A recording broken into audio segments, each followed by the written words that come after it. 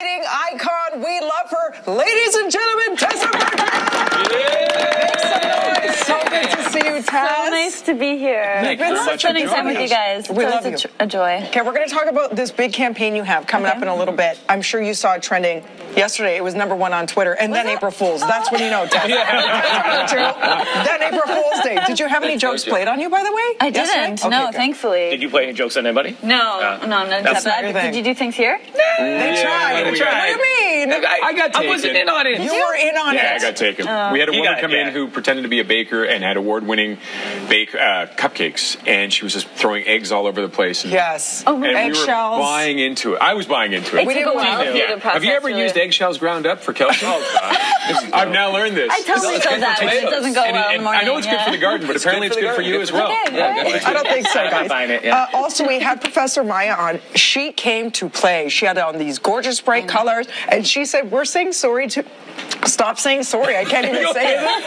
Sorry, I think you should say sorry. Sorry, Sorry, just you had, okay? I, sorry, sorry. I just had a mint. Excuse me. So- no, no, no. You say excuse me. Excuse me, I just had a mint. Let me gather my saliva That together to say. fascinating. 'cause She said we're saying sorry too much. Mm-hmm. Especially we women are guilty of it. Are you, Tess? Oh, I'm the worst. Yeah. And it was so interesting listening to her about how that diminishes our value and, you know, we chip away at ourselves. And I think that's something to just be cognizant of because I say sorry all the time for no for, for no reason. And it always comes in threes. Oh, sorry, sorry, sorry. Once is You know, enough. so, yeah. It's so a one, two, I'm three. Have you very found an alternative word? Something you're trying to use Well, different? her list was helpful, so Yeah. now I'm going to be, you know, Like, saying excuse- excuse me, pardon me, and yeah. Well, I think we all said sorry immediately after. It's funny when you become cognizant, it's even harder. It's like you're thinking about not saying it, so you say it more. It's Right. retraining the brain, right? I say my bad all the time. My bad. Joe. Interesting. My bad. My bad. I don't even know if I did anything wrong. No, it's my bad. But it's just easier. It diffuses the situation, right? Always. But I do weather, so I have to say I'm sorry all the time. All the time. Yeah. You're a walking sorry I I machine. have to. I have to use sorry. But that is the Gotta get an accurate app for you. term, though, for that. Okay. For your forecast. yeah, especially Okay. last weekend. Can we please talk about your dance moves? Nobody's sorry about this video that you posted. Oh my gosh, Tess, we're used to seeing you on the ice, and you do such a beautiful job. And then we see this other side of you, the Sasha Fierce, Tessa who unleashed this wicked hip hop routine. What does this mean? Is this for funsies, Yeah, or are we going to see more of like the Sasha? We, we got to come up with your own Sasha Yeah. It's Vicky Vice. Is it Vicky Vice? Yes, yeah. Point that. I Vicky thought Vice. opposite of virtue. Yes. So, so Sam, Sam Chouinard, a choreographer that we've worked with, he helped create Moulin Rouge, and we've worked with him for years. He's a, a dear friend and just an absolute genius. This is a warm up for him. Come on. This is a warm up to. We, we were doing some choreography in Montreal last week, and um, this was just to get our bodies moving. And he's just amazing. The, Raj, the Raj, things you know how to do that move. Raj, bust that one out. I can do, I can do it once, and then I got to pop my hip back into place, then pop my shoulder back into with. Scott and I place. are starting to feel that way too. Does it translate onto, onto the ice, though, those moves, It's really like uh, it's difficult to, to translate anything because we just have those you know forward backwards. we don't we don't have that kind of linear Yeah. movement so it's tricky to feel grounded on the ice we try our best but I mean it's way more fun to just be in a studio in sneakers I was gonna say when I saw you post that, I was like, okay, impressive. We know you got the moves. But when Scott was doing that, I was like, come oh, on, Oh, he's Scott. good. I gotta good. say, Wow. Oh, yeah, Yeah, I was impressed by Scott doing this. You want to see Scott on the dance floor at a wedding? He's like the the party guy who has We- the we've most. seen him at a few yeah. events, so Yeah. you- yeah. There's no, right, there- yeah. there's no overbite there, right?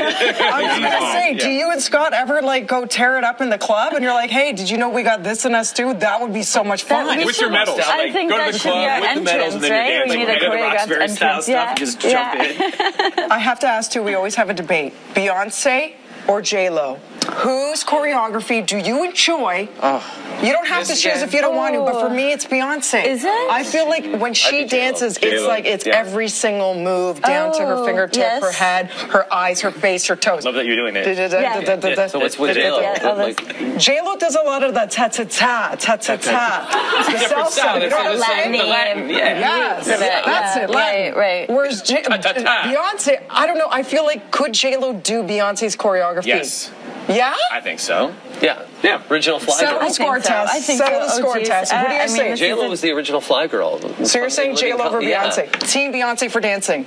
J Lo. J Lo. I'm on my own. J Lo? Yeah. I'm on my own. I'm sorry. Does Hey, anybody sorry, else? okay? Sorry. no, Don't apologize. Do not apologize for the right decision. When you make the right decision, you don't Oh my, oh my. apologize for Excuse it. me, Oh but oh J Lo. Beyonce does like a broken down. Oh, yeah. just ready for a new Like another world. Beyonce, a new Yeah. Another you know, rebirth? Yep. BeyHive. I'm with you. It's gonna be okay. I, I enjoy J. Lo. She's as well. watching right now. I know you Actually. do. Yes. I mean, who? I, Who doesn't, right? Like, please. Yeah. Okay. What were you gonna say, Dee? Your knee okay after all those? I know. Straight to St. Mike's right after this. Yeah. Time is 8 o'clock. We have much more coming up with Tessa Virtue and an amazing campaign you will have to see and why she went viral. Virtue went viral. What was it, Vicky Virtue? Vicky Vice. Vicky Vice. Vicky Vice. I love like it. that. It's coming up. Time is 8 o'clock. You're watching BT.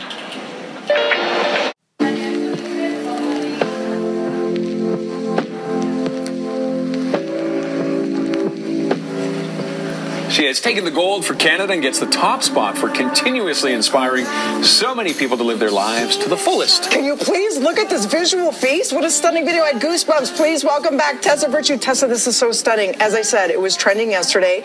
You are wearing body paint and you are just freestyling, it seems, to this beautiful music. And it's you becoming a peacock on the, the, the rink. It's, Yeah. Whose concept was all this? Well, we worked closely together, the, the team at Nivea and myself. Sam Chouinard choreographed it to really bring out those peacock bird like movements. But we wanted it to be about finding your authenticity and your individuality. And I think everyone can relate to that, right? Whether for me it's movement or however you express yourself, just feeling comfortable and confident enough in your skin to realize that there are just no limits. And that was 45 minutes of practice? You believe it? to learn the piece and, a, an 18 hour shoot to actually get it right on the ice. You're incredible. And speaking of feeling empowered in your own skin, was it at all intimidating when they said, "So you're going to wear body paint, right? As as fit as you are." I mean, people would think it's a no-brainer, but to embrace it and feel so free, was it freeing to have pretty much nothing but skates on? In a way, yes, it was. It was uh, quite a process to do the body painting, and it looked like I was wearing leggings, so Yeah. I felt pretty secure. Yeah. Um, but I actually thought that added to the piece because there's a vulnerability in the beginning, and then I found my power, I found my strength, and I think that just sort of mimicked the the message that we were trying to tell on Mm-hmm. a broader scope. A lot of us are really happy with what we do and we feel passionate, but to say you're the best in the world, my gosh, the mental and physical stamina. We were just talking about the Olympics. Raj, did you watch this? Their recent Yes, skate? of course. I watched it the next day knowing you won, and I was still sick to my stomach, wondering like how are how do you settle your nerves when it's something that big to go out there and do your best? What tips can you give us? The rest of us mere mortals. well, I think realizing that everyone has those nerves was important to us, and we just needed to handle them better than anyone. And it's so uncomfortable that feeling, the stress. I mean, you know, you're on live TV every day. It's it's so stressful, and yet just realizing, you know, we have to find comfort in this. And Scott looked at me so many times and said, "This is what we want. You know, let's embrace this storyline, th- these feelings. This is um, where we thrive because it just makes the end result that much more enjoyable." And a big thing is you love doing it. And that yeah, must add, that and I must make think just easy. being prepared, right? Like anything, we knew that we had done everything possible to set ourselves up for that one moment.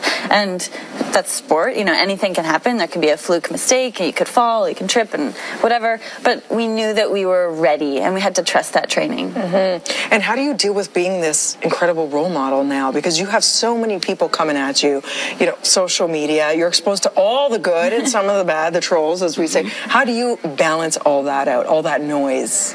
I think I just try and stay grounded in the things that really matter. So I'm big on the real human connection. And as neat as it is to connect with people and engage on social media, I think it's important to just remember that there are lives behind the screens and so much of you know what I place importance on are just the, the people that are really close to me in my life and the experiences that I'm getting to enjoy and it's not just about you know presenting a certain way on Instagram I think looking at other people's feeds you have to remember the same thing right Oh, and the Well personal said. connections, I think, can bring the strength to you as well, the, the people around you. Totally. And when you're doing something you love, when you have a purpose and a passion and you're working for that, um, that's always when I feel most confident and comfortable.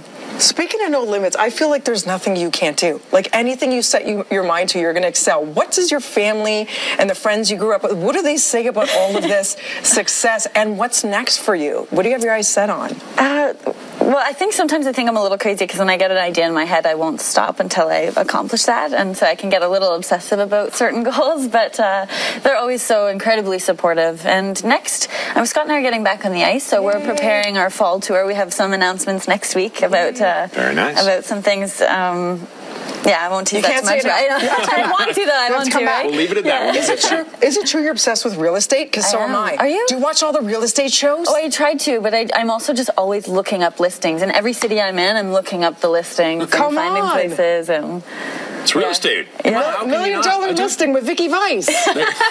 okay, we're gonna start a whole New new show. a new platform. I love it. exactly.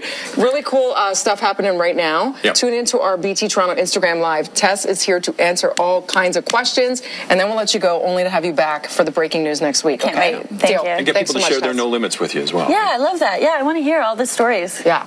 So make sure you follow her at Tessa Virtue and use the hashtag No Limits. Thanks, Tess. Thank you. And go to Instagram Live right now. We're gonna fire it up. Let's head upstairs now to Mel.